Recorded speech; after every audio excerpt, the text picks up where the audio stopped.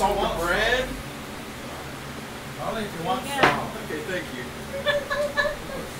Nigga Roll To butter your bread properly, I mean to put butter on your corn, you must get a piece of bread and roll it. That's Greenville, Go on YouTube.